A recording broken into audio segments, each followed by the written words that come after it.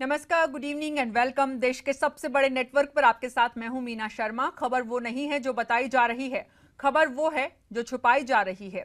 बहुत शोर सुनते थे पहलू में दिल का, जो चिरा तो कतराए, खून तक न निकला।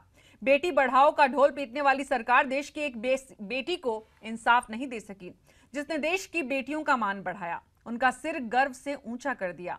अमेरिकी राष्ट्रपति को गॉड ऑफ़ ऑनर देकर सुर्खियों में आई विंग कमांडर पूजा ठाकुर ने वायुसेना की नाइंसाफी से नाराज़ होकर अदालत का दरवाज़ा खटखटाया है। स्थायी कमीशन की एक अदनी सी मांग वायुसेना को नागवार गुजरी है। बेशक बेटियाँ आसमान छू रही हैं, लेकिन सिस्टम का नज़रिया आज भी पुरुषवादी ही है। सिस्टम में पुरुषवाद है तो सितारों की सोच भी सुकून देने वाली नहीं है। देश के लोगों ने जिस सलमान खान को सिर आँखों पर बैठाया, बॉलीवुड का बादशाह बनाया, वो सलमान भी महिलाओं पर ही अपनी दबंगई दिखा रहे हैं। रेप विक्टिम से अपनी थकान की शर्मनाक तुलना से हुई छिछालेदार के बावजूद सलमान ने माफ़ी मांगने से इनकार कर दिया है। लेकिन सियासी गलियारों में महिलाओं पर ही दाम लग रहे हैं। कांग्रेस ने आज साफ़ कर दिया कि यूपी में शीला दीक्षित ही उनकी चुनावी नैया की खेवनहार बनेंगी। आज ही राहुल गांधी के आवास पर हुई बैठक में उन्होंने आला कमान से गुरु मंत्र भी हासिल कर लिया। कांग्रेस के ताबड़तोड़ फैसले की काट ढूँढने में बीजेपी के रणनीतिकार भी पसीना बहा रहे हैं। पार्टी मुख्यालय में अमित शाह ने आज अपनी नई टीम को लेकर मंथन किया। अरुणाचल प्रदेश में सुप्रीम कोर्ट के फैसले से कांग्रेसी खेमा बल्लियाँ उछल रहा है। लेकिन शनिवार, यानी 16 जुलाई तक बहुमत साबित करने के राज्यपाल के फरमान ने नबाम तुकी के हौश फाख्ता कर दिए हैं। लेकिन केजरीवाल को 21 जुलाई तक राहत मिल गई है। संसदीय सचिव के फंदे में फंसे केजरीवाल के 21 विधायकों की किस्मत का फैसला चुनाव आयोग ने 21 जुलाई तक के लिए टाल दिया है। और राजनीतिक खबरों से दूर शिक्षा की बात करें तो आर के चतुर्वेदी सीबीएसई के नए अध्यक्ष होंगे। कल ही पीएम मोदी ने स्मृति ईरानी की सिफारिश वाले सर्वेंद्र विक्रम बहादुर के नाम को नामंजूर कर दिया था। लेकिन सरहद पार, पाकिस्तान में आतंकियों के आका पर लगाम कसनी शुरू हो गई है। कश्मीर की आड़ में भारत पर वार करने वाले हाफिज सईद का ट्विटर अकाउंट बंद कर दिया गया है। तो वहीं पाक की हाँ में हाँ मिलाने वाले चीन को अमेरिका ने दो टूक कह दिया है कि दक्षिण चीन सागर में हेग की अंतर्राष्ट्रीय अदालत का फैसला अंतिम है और चीन को इसे न चाहते हुए भी कबूल करना ही होगा। और देश की इन तमाम खबरों के बाद अब रुख करते हैं देश की सियासत का। कश्मीर में पिछले छह दिनों से जारी हिंसा में 36 जान अब तक जा चुकी है और 1300 से ज़्यादा लोग जख्मी हुए हैं। कश्मीरी पंडित भी दहशत में हैं तो पड़ोसी पाकिस्तान यूएन में कश्मीर का राग गा रहा है। हालाँकि भारत ने भी पाक को आईना दिखा दिया है और संयुक्त राष्ट्र के मंच से ही उसे दुनिया के सामने बेनकाब किया है। लेकिन सवाल है कि कश्मीर सुलग क्यों रहा है और जन्नत की हसीन वादियों में नफरत का जहर कब खत्म होगा?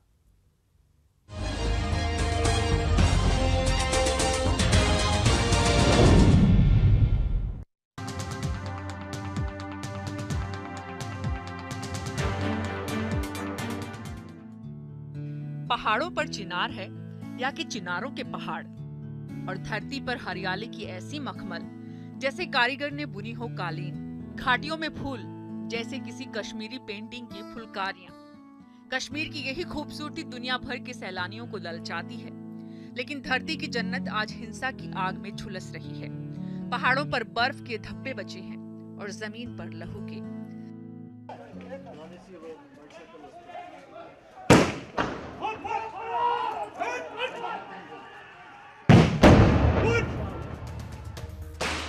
धरती के सीने पर कान रखने की हिम्मत नहीं बची है किसी में। कुदरत की इस खूबसूरत नेमत पर बदनुमा धब्बा लगा है एक आतंकी के एनकाउंटर से भड़की हिंसा से। पिछले छह दिनों में हर तरफ़ अविश्वास का अंधेरा बढ़ा है। फिजा में नफरत का जहर खुला है। प्रदर्शनकारियों की भीड़ में अलगाववादी और आतंकी अपने नापाक मंसूबों को अंजाम दे रहे हैं। सुरक्षा बलों पर पत्थरबाजी और थानों पर आगजनी जैसे आम बात हो गई है।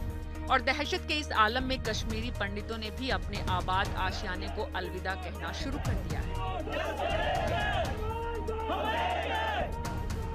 जम्मू में रिलीफ कमिश्नर के आवास पर आज इन्हीं कश्मीरी पंडितों के दर्द की नुमाइंदगी हुई।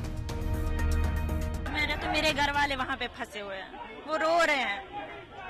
हम वहाँ पे सेफ़ नहीं है हमें यहाँ ला दो। जहाँ पे जहाँ पे हम जॉब करने जाते हैं वो मिलिटेंट एरिया रह चुके हैं। और वहाँ पे अब हम कैसे जा सकते हैं। हमें साइकोलॉजिकली हम इतने फेयर हो गया है कि हम वहाँ पे जाना पसंद नहीं करेंगे। क्या कैंप्स में सिक्योरिटी है? ये ये तो सिक्योरिटी के रहते ये तो सिक्योरिटी रहते हुए ऐसा हाल हुआ। पुलिस वालों पुलिस वाले जो गन लेके होते हैं उनके हथियार छीन के उनको किडनैप किया गया। हमारी क्या हालत होगी कल को? सिर्फ़ ये बोलना चाहते हैं कि हमारे जो वहाँ पे भाई बहन है उन सबको वापस ले आओ। और हम में से वहाँ कोई वापस नहीं जाएगा क्योंकि वहाँ कोई भी कोई भी सिक्योरिटी नहीं है। कश्मीर में भड़की हिंसा की इस आग में पड़ोसी पाकिस्तान भी घी डाल रहा है। स्टेट एक्टर से लेकर नॉन स्टेट एक्टर तक हर किसी ने कश्मीर का बेसुरा राग छेड़ दिया है। पीओके के मुजफ्फराबाद में चरमपंथी संगठन हिजबुल मुजाहिदीन का आका सैयद सलाहुद्दीन बुरहान को शहीद बता रहा है। तो संयुक्त राष्ट्र में पाकिस्तान के दूत मलिहा लोधी ने भारत पर कश्मीरियों के दमन का आरोप जड़ दिया है। लेकिन पानी जब सर से ऊपर गुजरने लगा तो भारत ने भी पलटवार किया लेकिन यूएन में भारत के दूत सैयद अकबरुद्दीन ने पाक को जमकर लताड़ा और सारी दलीलों की हवा भी निकाली The denial of self-determination to the people of Indian-occupied Jammu and Kashmir has resulted in some of the most atrocious human rights violations. a country that covets the territory of others, a country that uses terrorism as state policy towards that misguided end, a country that extols the virtues of terrorists and provides sanctuary to UN listed terrorists, and a country that masquerades its efforts as support for human rights and self determination. ये सच है कि जब जब पाकिस्तान में अंदरूनी परेशानी बढ़ती है चुने हुए नुमाइंदों पर सेना आंखें तरेड़ती है हुक्मरान कश्मीर का राग छेड़ देते हैं और एक बार फिर पाकिस्तान में ऐसा ही आलम है पाक सेना प्रमुख जनरल राहिल शरीफ भले ही ये कह रहे हों कि रिटायरमेंट के बाद वो अपना पद छोड़ देंगे, लेकिन पाकिस्तान में उनके समर्थन में लग रहे पोस्टर नवाज़ के लिए मुसीबत का सबब बन गए हैं। बुधवार को ही राहिल शरीफ ने एक बैठक में कश्मीरियों के दमन का मुद्दा उठाकर शरीफ को सख्ते में ला दिया है। लेकिन इन सब का ये मतलब नहीं है कि हम अपने दामन को छोड़ दें। कभी अलगाववादियों की चहेती रही महबूबा मुफ्ती की आवाज़, अलगाववादी ही क्यों नहीं सुन रहे हैं? ये बड़ा सवाल है। तो दशकों तक देश पर राज करने वाली कांग्रेस भी इस समस्या के लिए अब प्रधानमंत्री मोदी को कसूरवार क्यों ठहरा रही है? मुझको लग रहा था कि महबूबा जी जान लेंगी कि इनके साथ लेटना, बीजेपी के साथ लेटना, उसी के समान है जितना कि एक सांप के साथ लेटना है। वो काटेगी। अब ये बीजेपी सांप उनको काट रही है कश्मीर में। 4 अप्रैल 2016 को जब महबूबा मुफ्ती ने जम्मू कश्मीर का ताज संभाला था, कश्मीर एनआईटी विवाद में फंसा था। छात्रों के बीच का मुद्दा सुलझता उससे ही पहले 12 अप्रैल को हंदवाड़ा में एक लड़की से छेड़छाड़ की अफवाह ने हिंसा भड़का दी। और मई आते आते सैनिक कॉलोनी की ज़मीन का मुद्दा उठा। लेकिन 9 जुलाई को तो चरमपंथियों के पोस्टर बॉय बुरहान वानी के एनकाउंटर ने हालात को ऐसा बना दिया कि अब जवाब देते नहीं बन रहा है। हालात एक बार फिर से इतने खराब हो चले हैं कि सैलानी अब कश्मीर से भाग रहे हैं। डल झील में शिकारा चलाने वालों का धंधा मंदा पड़ गया है। तो अमन की चाहत एक बार फिर इंतज़ार कर रही है। उम्मीद करते हैं ये इंतज़ार जल्द खत्म होगा। देश की बात के लिए ईटीवी नेटवर्क उम्मीद करते हैं कश्मीर में जल्द अमन और शांति कायम होगी। बहरहाल, आगे बढ़ते हैं। दक्षिण अफ्रीकी देश सूडान में भी शांति नहीं है। दक्षिणी इलाके में सरकार, समर्थक और विरोधियों के बीच जंग छिड़ी हुई है। उम्मीद है कि वहाँ फंसे भारतीयों के लिए, बचाने के लिए वायुसेना की मदद से चल रहा ऑपरेशन संकट मोचन। शुक्रवार, यानी कल शाम तक पूरा हो जाएगा। हिंसाग्रस्त इलाके में तकरीबन 600 भारतीय फंसे हुए हैं, जिनमें ज़्यादातर क्रिश्चियन मिशनरीज में काम करते हैं। कुछ बिजनेसमैन हैं, कुछ प्राइवेट कंपनीज़ के मुलाजिम। भारत सरकार इन सब की सलामती के लिए लगातार सूडान सरकार से संपर्क बनाए हुए हैं। कई गाइडलाइंस और हेल्पलाइन भी जारी की गई हैं।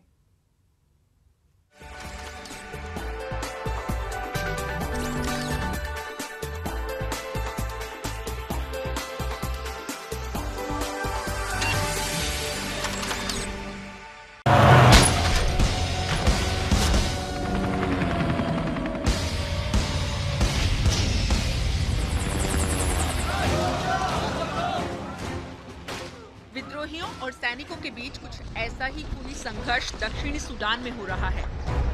लेकिन भारत के लिए राहत की खबर है कि वहाँ रह रहे भारतीय अब खुद को अनाथ नहीं समझ रहे, जैसा कुवैत में हुआ था। जुबा से भारतीयों को लेकर लौट रहे विमान की ये ताज़ा तस्वीरें देश में बसे उनके रिश्तेदारों के लिए सुकून की साँसें लेकर आई हैं। वायुसेना के दो सी सेवनटीन विमान आज सुबह तड़के साउथ सूडान के लिए रवाना हुए थे। पहला विमान हिंदुस्तानियों को लेकर जुबा से वापस भारत रवाना भी हो चुका है।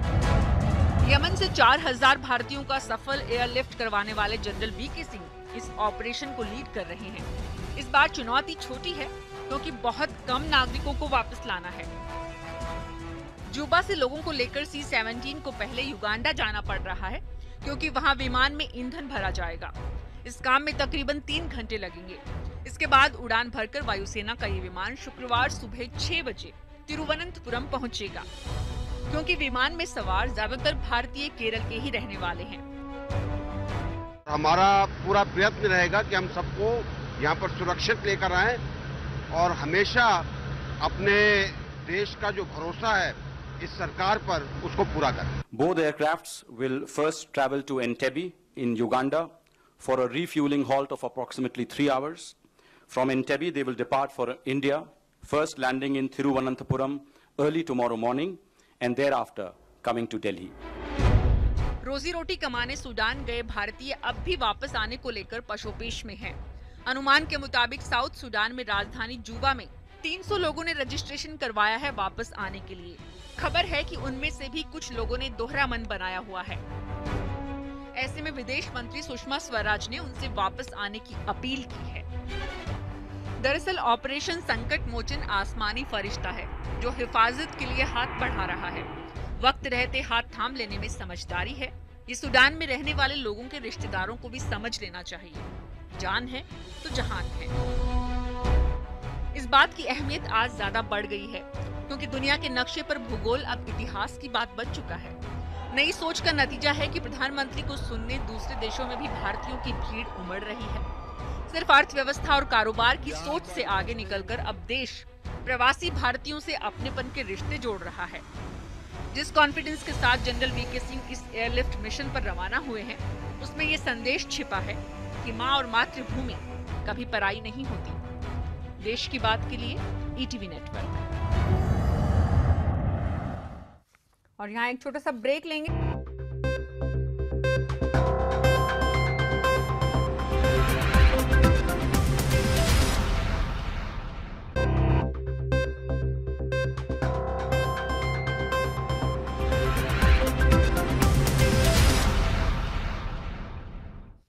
और अब वापस रुख करते हैं देश की सियासत का। क्या प्रियंका गांधी यूपी कांग्रेस की कमान संभालेगी? ये सवाल पिछले कई दिनों से देश के सियासी गलियारों से लेकर उत्तर प्रदेश की सड़कों तक छाया हुआ था। लेकिन कांग्रेस पार्टी ने न सिर्फ़ सारी अटकलों को विराम लगा दिया, बल्कि आज एक ऐतिहासिक फैसला भी लिया। ऐलान किया कि शीला दीक्षित मुख्यमंत्री पद की उम्मीदवार होंगी। आज़ादी से लेकर आज तक कांग्रेस ने किसी भी चुनाव में मुख्यमंत्री पद के उम्मीदवार की चुनाव से पहले इस तरह से घोषणा नहीं की है। गौरतलब यह भी है कि युवाओं की पैरवी के नाम पर पूरी राहुल टीम बनाने के बाद भी इकहत्तर साल की शीला का चेहरा क्यों सामने लाया गया? और इस पूरी चुनावी रणनीति के चाणक्य बने प्रशांत किशोर। वही प्रशांत किशोर जिनके लिए कहा जाता है कि मोदी और नीतीश के लिए जीत का रोड मैप तैयार किया था। लेकिन प्रशांत किशोर यूपी में प्रियंका गांधी को उस भूमिका में नहीं ला पाए जैसा कि वो लाना चाहते थे। आज शीला दीक्षित ने क्या कुछ कहा, वो भी हम आपको लगातार दिखाएँगे हमारे कार्यक्रम में, लेकिन राजेश मिश्रा साहब जुड़ चुके हैं हमारे साथ, वाइस प्रेसिडेंट यूपी कांग्रेस के अजय सेतिया, वरिष्ठ पत्रकार और विजय बहादुर पाठक, उत्तर प्रदेश में बीजेपी के प्रवक्ता। आप तीनों का बहुत बहुत स्वागत है। शुरुआत में राजेश मिश्रा साहब आपसे करना चाहूँगी। शीला दीक्षित के आने से कितना ब्राह्मण वोट आप ले पाएँगे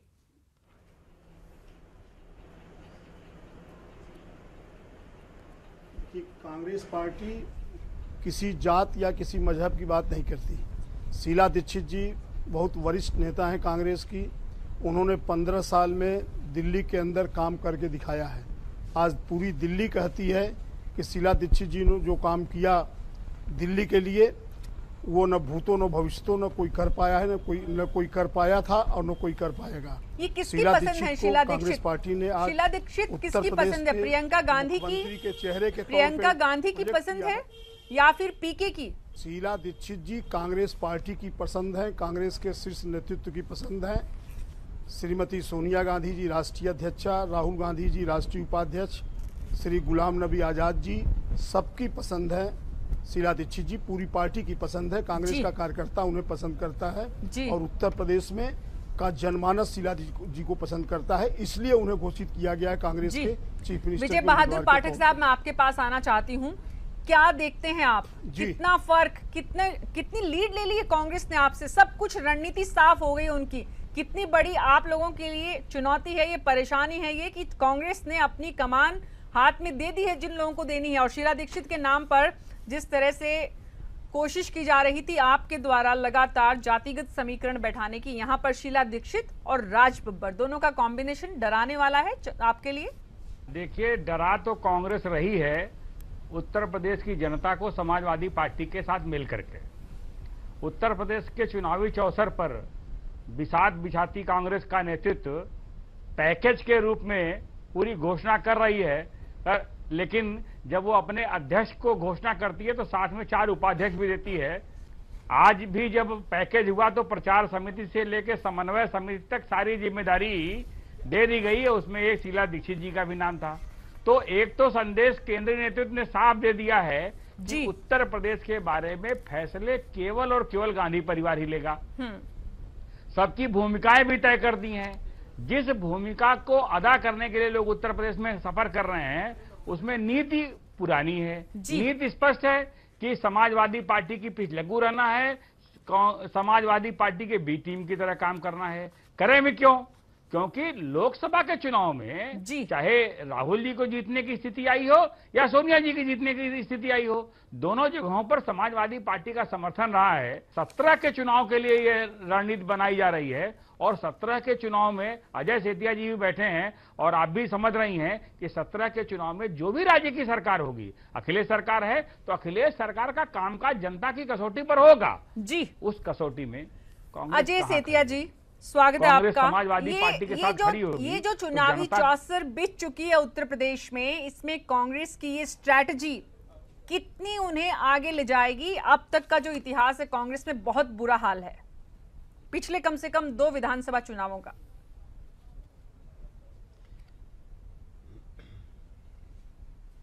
ये कांग्रेस का अंतिम चेहरा उत्तर प्रदेश में नारायण दत्त तिवारी थे। और आज नरेंद्र तिवारी के बाद पहली बार उन्होंने अपना मुख्यमंत्री प्रोजेक्ट किया है। और नरेंद्र तिवारी ब्राह्मण थे और अंततः घूम फिर के इतने सालों के बाद वो फिर ब्राह्मण पर आ गए हैं। मुझे लगता है कि ये जो स्ट्रेटजी है कांग्रेस की वो बीजेपी को ज़्यादा टारगेट करने की है क्योंकि ऐसा माना जा रहा था कि बीजेपी का चेहरा अपर कास्ट का होगा। जी। और बीजेपी का चेहरा क्योंकि अपर कास्ट का होगा और वोट बीजेपी की तरफ़ ज़्यादा जा रहा है उसको कैसे रोका जाए? कांग्रेस की स्ट्रेटजी इस समय चुनाव जीतने की नहीं लग रही है। अलबत्ता बीजेपी को रोकने की स्ट्रेटजी के अंतर्गत यह किया गया है। लेकिन इससे एक दूसरा मैसेज भी जा रहा है जो उत्तर प्रदेश के मतदाताओं को जाएगा वो महत्वपूर्ण है कि राज बब्बर और शीला दीक्षित दोनों बेसिकली पंजाबी हैं। राज बब्बर पाकिस्तान उनका परिवार पाकिस्तान से यहाँ शिफ्ट हुआ था और पंजाबी परिवार है। जी। और शीला दीक्षित बेसिकली पंजाब से हैं पंजाबी परिवार से हैं। और उनकी शादी वहाँ पर उत्तर प्रदेश में हुई। थी। और एक तरह से ये इंपोर्ट किए गए हैं नेता हैं। शीला दीक्षित तो पंद्रह साल दिल्ली में थी तो दिल्ली की मुख्यमंत्री थी। अब अब इनको उत्तर प्रदेश में उत्तर प्रदेश में रहने वाला कोई व्यक्ति नहीं मिला तब। इन्होंने इंपोर्ट किया है शीला दीक्षित को। अजय सेठिया जी इस अंतिम तो हथियार का इस्तेमाल उत्तर प्रदेश के चुनावों में नहीं करना था। या फिर गांधी परिवार एक बार फिर ज़िम्मेदारी लेने को यहाँ पर तैयार नज़र नहीं आया। अगर हारते हैं, कुछ भी होता है, जो स्वाभाविक है, हारना तो लगभग वैसे चुनाव में कुछ नहीं कह सकते, लेकिन आज जो स्थिति और आपने कहा कि जीतने के लिए नहीं, बल्कि बीजेपी को हराने के लिए है, गांधी परिवार का, प्रियंका का यहाँ पर सामने नहीं आना। जिस तरह की लगातार कवायद थी, पीके ने कहा, आपने स्ट्रैटेजिस्ट को चुना भी, लेकिन उसको सुना भी नहीं। जैसे कि मैंने पहले कहा, ये भाजपा को रोकने के लिए रणनीति बनाई है, और अगर उनके पास कोई अपना नेतृत्व होता तब वो सीरियसली होते। अब वो सीरियसली नहीं दिखाई दे रहे हैं। कुछ लोगों को लग सकता होगा कि ये इस चुनाव में सीरियस हैं बड़ा नेता लेकर के आए हैं। ये सिर्फ़ प्रशांत किशोर का एक जो उन्होंने स्ट्रेटजी बना करके इनके सामने रखी थी वो स्ट्रेटजी ये थी कि कांग्रेस अपना वोट बैंक दोबारा तभी हासिल कर सकती है जब कोई बड़ा नेता हो। तो बड़ा नेता उनके पास कोई और दिख नहीं रहा था। और शीला दीक्षित को लेकर के भी बड़े लंबे समय से असमंजस था। शीला दीक्षित को बहुत लंबा समय करीब करीब दो महीने पहले कन्वे किया गया था कि उनके नाम पर हम विचार कर रहे हैं क्या वो उसके लिए जाने को तैयार हैं। शीला दीक्षित ने हाँ कर दी थी। इसके बावजूद इनको दो महीने लगे कि अनाउंस करने में। अभी परसों चौथ तक कुछ मेरे जानकार लोग बता रहे थे आज ही सेंट्रल हॉल में पार्लियामेंट में बात हो रही थी। तो उनका यह कहना था कि शीला दीक्षित ने परसों चौथ कहा कि अगर मुझे समय देना है अगर मुझे आपको ज़िम्मेदारी देनी है तो अभी दीजिए फिर इसको देर मत कीजिए। तो इसलिए जो है जल्दबाजी में ये राजेश मिश्रा जी राजेश मिश्रा जी उत्तर प्रदेश की जनता ये तो पूछेगी आपसे कि पूरे उत्तर प्रदेश में आपको कोई नहीं मिला जो आप दिल्ली की मुख्यमंत्री जो तीन बार रही हैं उनको लेकर आए और उनको दरअसल ब्राह्मण माना नहीं जाता है उन्हें पंजाबी एक तरह से माना जाता है।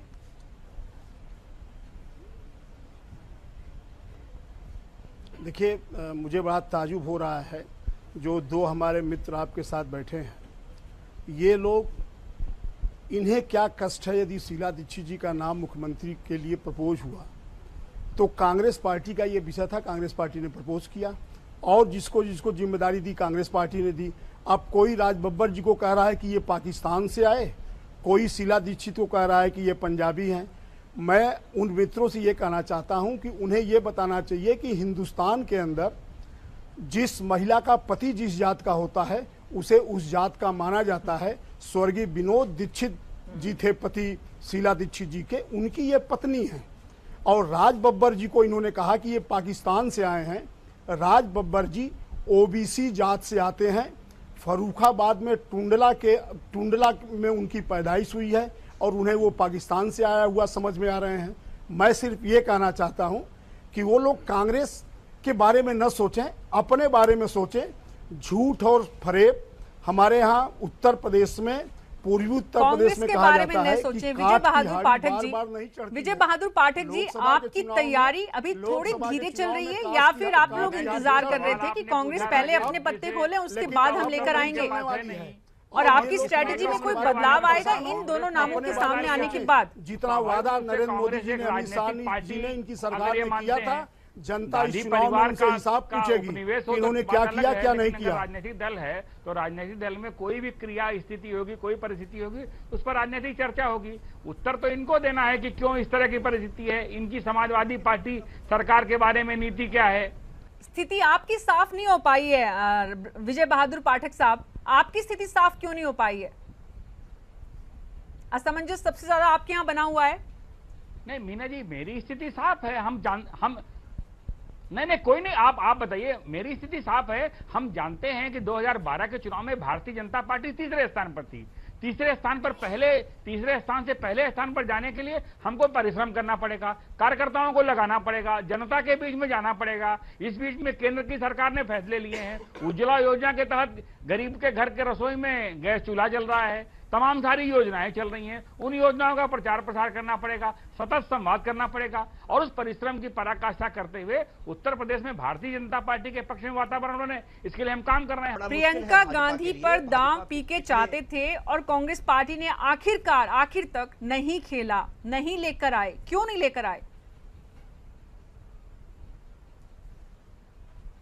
निश्चित रूप से प्रियंका गांधी को वो यूपी के अंदर खपाना नहीं चाहते हैं।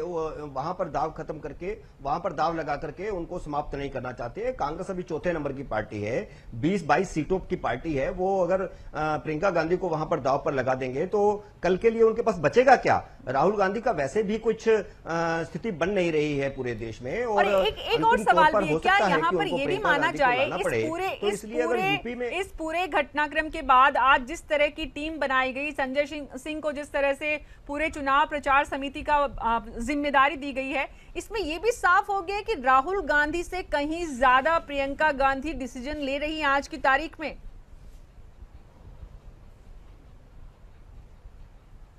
नहीं, मैं ऐसा मानने को तैयार नहीं हूँ। ये कांग्रेस का सोनिया गांधी का डिसीज़न है। वो प्रियंका गांधी को अभी इस्तेमाल यूपी में नहीं करना चाहती और राहुल गांधी का ये डिसीज़न नहीं हो सकता। राहुल गांधी इसमें डिसीज़न में कोई हिस्सेदार होंगे, वो भी मुझे ऐसा नहीं लगता है। लेकिन इस समय सवाल कांग्रेस का नहीं है। कांग्रेस 20 से 40 हो जाएगी ज़्यादा से ज़्यादा। इससे ज़्यादा कुछ कांग्रेस के लिए बड़ा दाव नहीं है। लेकिन सबसे बड़ी समस्या अब खड़ी हो गई है।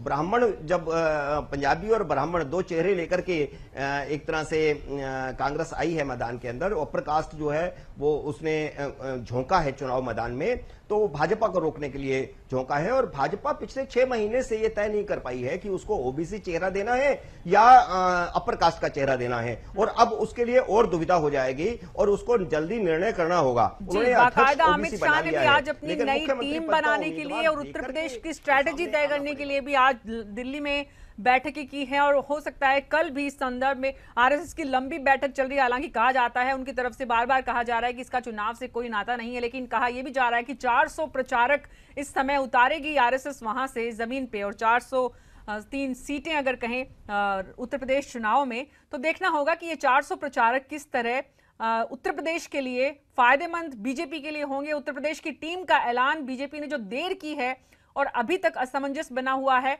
वो कांग्रेस की स्ट्रेटेजी सामने आने के बाद किस तरह से निकलकर सामने आता है? आप सबका बहुत बहुत शुक्रिया। मुझे माफ़ी चाहती हूँ। कार्यक्रम खत्म करना पड़ेगा यहाँ पर। एक छोटे से ब्रेक का वक्त है। ब्रेक के बाद भी वापस आएँगे खबरों कुछ और के साथ।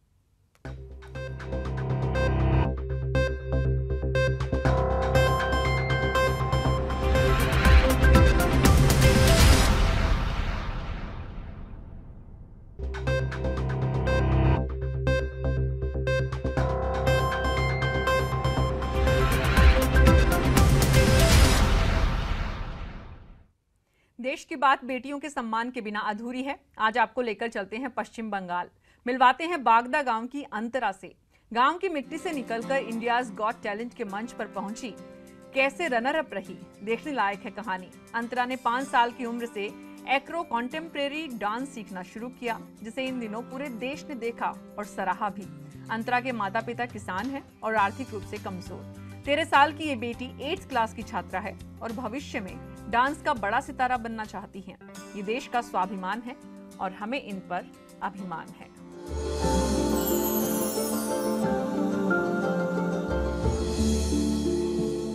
देश की बात में आज मेरे साथ इतना ही, लेकिन इस कार्यक्रम को अगर आप देखना चाहते हैं तो हमारे YouTube चैनल पर देख सकते हैं। प्रदेश एटीन की वेबसाइट पर अपने सुझाव दे सकते हैं, अपने आसपास की खबरों को हमसे साझा कर सकते हैं। इस वक्त मुझे दीजिए अनुमति। नमस्कार।